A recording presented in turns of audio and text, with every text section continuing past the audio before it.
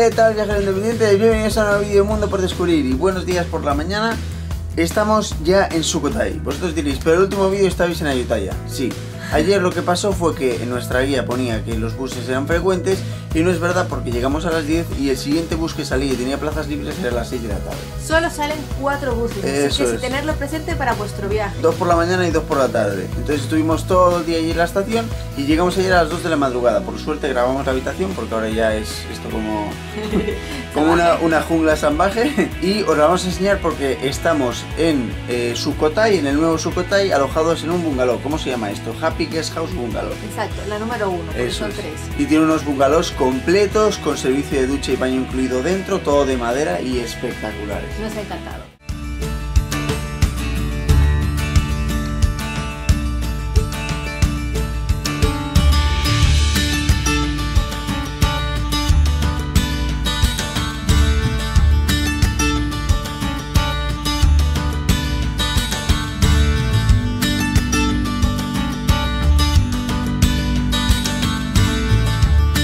Viajeros, como nos merecemos un buen desayuno, porque ayer estuvimos todo el día, como os dijimos, sentados en una estación de autobuses, hemos pensado que aquí como el hotel ofrece desayunos, pues hemos pedido dos desayunos. La Diana ha pedido el Happy Breakfast, yo he pedido el American Breakfast. Y todo eso, viajeros dependientes, nos cuesta 180 bahts, está bastante bien. Y lo mejor de todo, ¿sabéis lo que es? ¿Dónde nos lo van a servir? Aquí en nuestro bungalow, en la Eso mesa es, del porche. En la terracita del porche del bungalow. Así que viajeros, los esperamos y os enseñamos.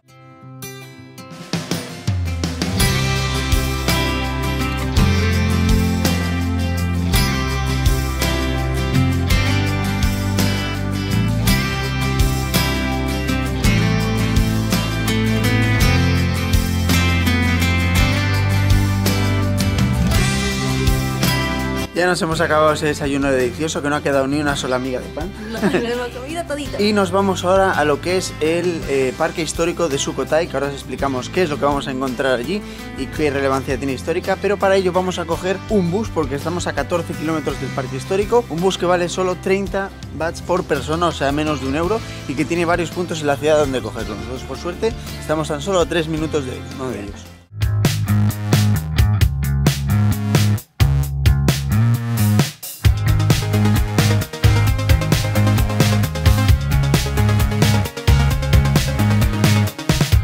Viajeros independientes, después de unos 35 minutos aproximadamente en el bus este que nos ha llevado super guay, estamos en el parque histórico de Sukhothai. Y lo primero que hacemos es alquilar unas bicicletas, igual que hicimos en Ayutthaya hace dos días. ¿Por qué? Pues porque la mejor forma de recorrer todo esto es en bicicleta. Eso es, vale 30 bahts cada bicicleta, o sea, unos 70-80 céntimos para todo el día, con lo cual precio muy muy bueno. Y una vez eso, os enseñamos el lugar del alquiler de bicicletas y ya nos metemos dentro y os explicamos qué leches hacemos aquí en Sukhothai.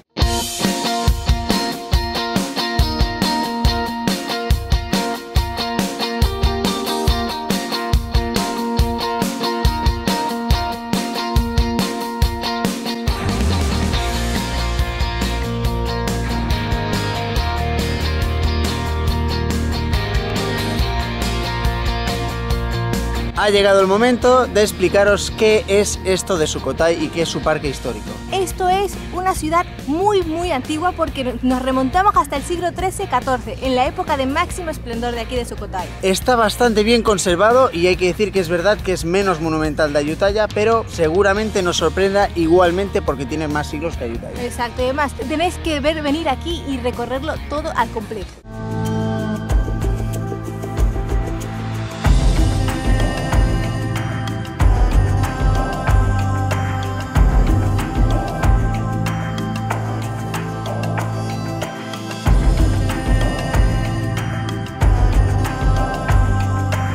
Empezamos viajeros independientes por el primer templo que es bastante característico y diferente al resto. Estamos en Wat Sisawai. ¿Y por qué es característico? Pues justamente lo que tenemos aquí detrás, que son tres torres enormes que ya nos hablan del poderío que había aquí, porque eso no lo hemos explicado todavía. Pero esto era la capital del reino de Siam en la época dorada de Tailandia. ¿eh? Sí, increíble. de lo que era Tailandia en aquel momento que no se conocía con el nombre de Tailandia. Pero eso ya nos da la importancia histórica, la importancia cultural que tenía toda esta zona y lo bien conservado y lo ordenadito que está todo, ¿eh? eso hay que decirlo.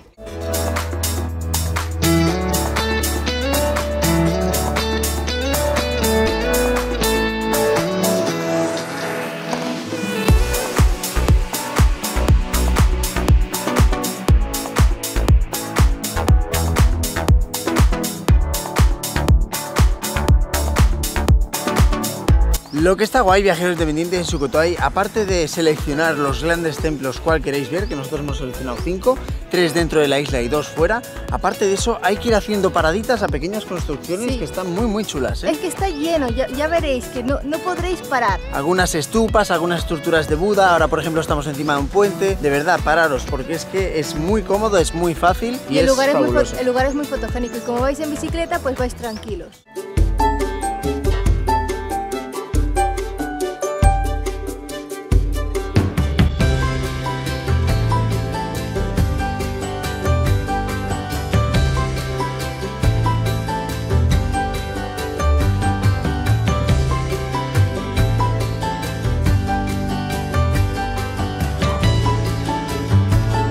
Ahora sí que sí, parada oficial en el segundo templo del día, estamos en el Wat Mahatat. Es el más grande, el es. más vistoso, el más bonito, por Dios. Y aquí hay un montón de budas que se conservan súper bien. Por ejemplo, Muy este de bien, aquí como atrás. este que tenéis aquí detrás, viajeros dependientes. Así que si solo podéis ver uno, que va a ser que no, tiene que ser este porque es el mejor conservado y el más grandote.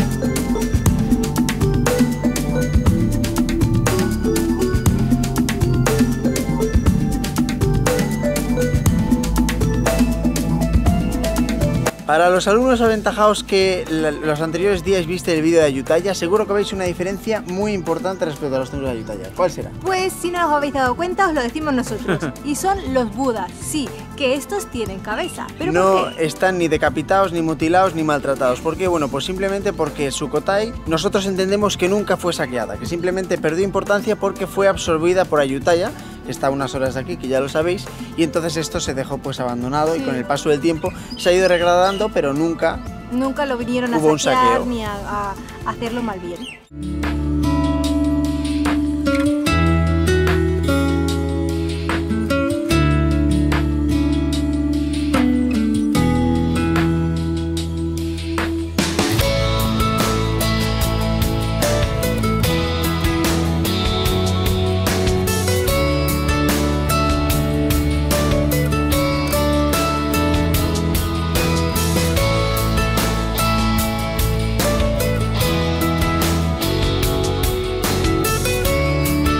Aparte de ser el más grandote de todos, viajeros independientes, en este templo nos encontramos muchos chedis, que son esas cositas que veis como una especie de estupas, que son Sí. para arriba. ¿Y cuántos hay en total? 198, nada más y nada menos. Solo en este, ¿eh? hay algunos que es verdad que están un poquito de ruidos, hay otros que están completamente enteros, o sea que es que es una pasada, de verdad. Hay muchísimos acumulados y nos está gustando mucho, mucho, muchísimo. Sí, porque nos imaginamos cómo sería esto en su mayor apogeo y habré, habría sido exacto.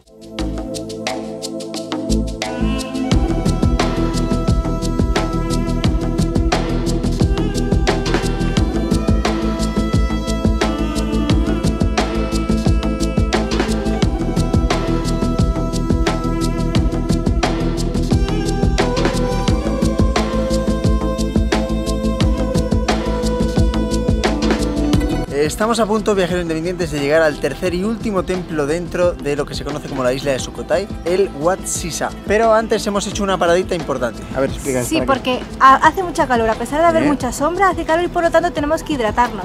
Y hay que comprar agua o refrescos. Y aquí hay varios puestos dentro de, la, de todo el recinto donde podéis comprar esto. Y además tienen lavabo. Sí, Eso es. lavabo por 5 watts por persona. Y Eso no os preocupéis porque el tema de refrescos y bebidas también por 10 bahts podéis comprarlos, así que los que seáis meones o sedientos, la Diana es meona, yo soy sediento, Nos complementamos. tenéis servicio asegurado.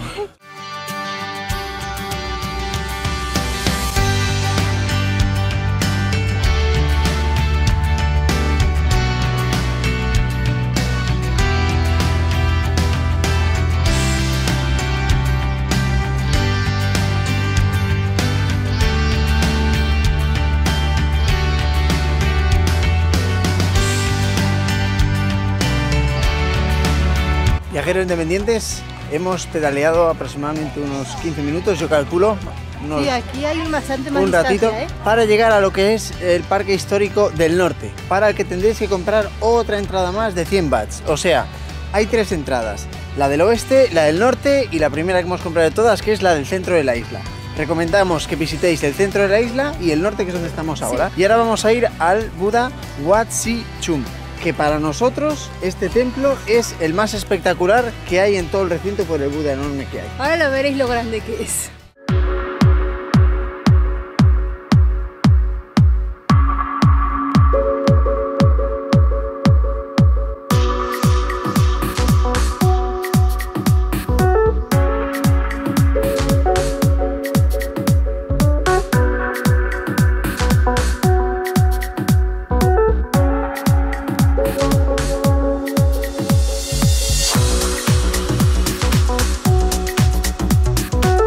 Aparcadas las bicis viajeros para lo que es el quinto y último templo que vamos a conocer aquí. Este también está en Complejo Norte y ya que vais a ver ese pedazo de Buda enorme tanto que nos ha gustado, recomendamos que paséis por este porque este es de la zona el que es el segundo más excepcional. ¿Cómo se llama? Se llama Wat Prapai Luang. Eso es, viajero independiente. Si destaca pues una torre y varios Budas que hay. Es verdad que es un poquito menos atractivo que los, que los complejos que hemos visitado en la isla central, pero, pero vamos a darle un paseo.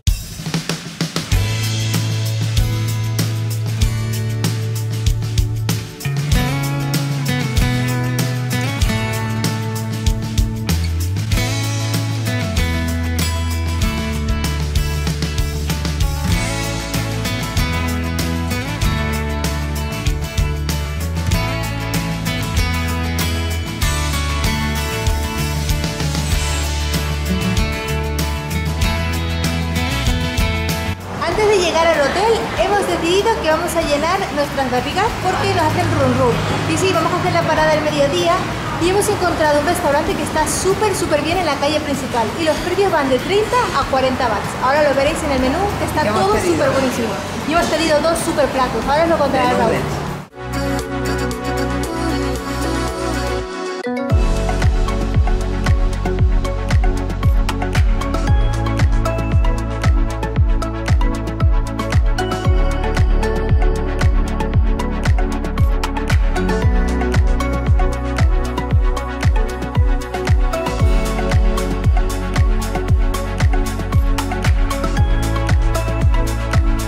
Estamos ya en lo que se parece que es el Night Market de Sukhothai y hay que decir que es pequeñito. Es pequeñito y no sabemos si que recién se está despertando o... es que es así. Es como un mercado cerrado interno, interior, y después a derecha e izquierda hay como 8 puestos, 10 puestos como mucho. Pero bueno, es lo que hay, así que intentaremos resultarlo y os enseñamos un poquito.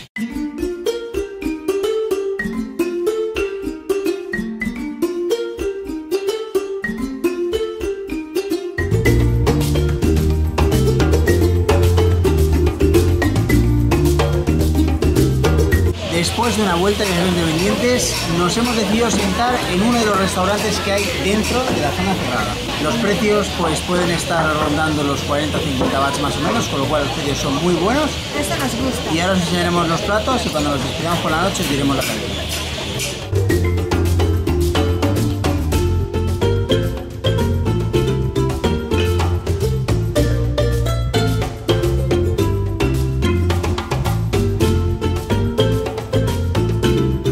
Viajeros independientes, ya es momento de ir a dormir, ya hemos degustado la cena, hay que decir que la calidad muy buena, el sitio un poquito incómodo porque estábamos debajo de un ventilador. Y se nos caían todos los bichos. Todos los bichitos que se morían trágicamente por el choque con el ventilador se caían encima de nosotros y en el plato. Y no han sido pocos, ¿eh? han sido unos cuantos. Así que, independientes, esperamos que os haya encantado Sukhothai porque a nosotros nos ha gustado muchísimo. Si no sabéis cuál elegir de las dos ciudades, nosotros tampoco os lo vamos a decir porque Ayutthaya y Sukhothai tienen las dos su esencia. Ayutthaya más monumental, Sukhothai más tranquila y, más guay, más experiencia, la verdad. Así que viajeros independientes, nos vemos mañana en Chiang Mai, que nosotros tendremos que madrugar un montón. A las 5 de la mañana. Y abracitos para todo el mundo. Buenas noches viajeros. Adiós. Hasta la próxima. Hoy nos levantamos tempranito, tempranito en Sukhothai y nos vamos deprisa a ver si podemos coger el primer bus que sale a las 6 y 20 para Chiang Mai. Ya hemos dado unas cuantas vueltas viajeros independientes y llega el mejor momento de la noche, que es intentar buscar alguna cosa para comer, porque aquí no falta variedad. Y además os damos un truquito. Si este es el primer día de Chiang Mai Viajeros Independientes, no queremos imaginarnos cómo es el segundo y cómo es el tercero.